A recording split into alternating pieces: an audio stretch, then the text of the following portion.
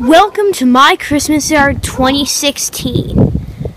It is the follow-up to my Christmas yard 2015, which got um, over, which is probably going to get over 500 um, views. I'm very happy for the massive response, and I'm very excited to do this follow-up. So as you can see here, we've moved, so it's a little bit different. There is some new and familiar faces that you'll see. Let me just get the, let this car here go by. Is done? Okay, it's just backing into there. So here, let me show you.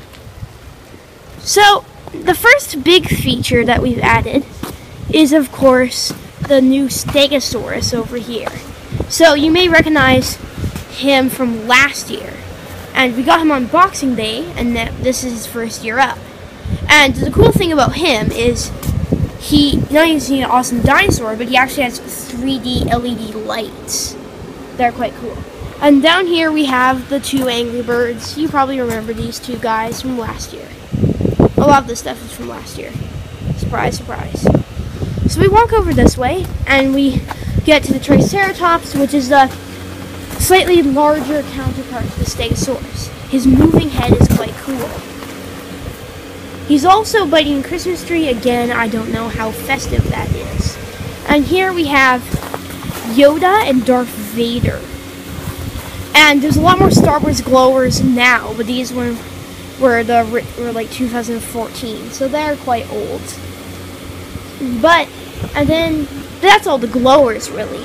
Here we have the crazy Christmas trees, the um, reindeer welcome sign, quite nice. And here we have the snowflake projector. It doesn't work as well because of a street lamp, but nah, it works fine. I don't mind it. And here, now you can see it better, is the mysterious Merry Christmas sign, which you couldn't see last year. So now we're going to focus on the lights. The lights look pretty sweet, right? Well, using an app on the i on your iPhone you can, as you can see here by my demo, can choose a color and theme. This is turquoise sparkle. I'll probably do another video showing every single one. But it's quite cool, isn't it? There's so many different possibilities. You can have it for any um, holiday. There's different themes and holidays. There's Thanksgiving, Halloween, Independence Day, Easter, that New Orleans party, St. Patrick's Day, Valentine's Day, you get the idea. And they have special light shows, which you can only get with certain combinations. And there's some combinations where you can have rainbow. Anyway, I guess that's my Christmas yard this year. Hope you enjoyed this video. I hope it gets mm, the same, if more, response than last year. Thanks for watching, and goodbye. Hi, everybody. I'm Bob the Killer. You probably know me if you're a regular to the Greek channel. I just want to tell you that the Greek is giving every all of YouTube a Christmas gift by 12 daily videos from December 12th to December 24th.